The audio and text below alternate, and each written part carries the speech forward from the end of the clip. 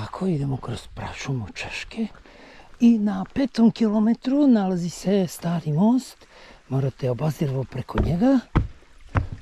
To je rečica. Evo vidite da se ja krećem. O, kako je dobro. Snimili smo cvrčka. Odnosno skakavca, skakavac koroda. E, i. Kako mi znamo da smo na dobrom putu? Prašuma. Eno ga tamo, žuti marker koji pratimo. I to je to. Ništa komplikovano. Evo ga žuti marker, ne znam koliko se vidi sad.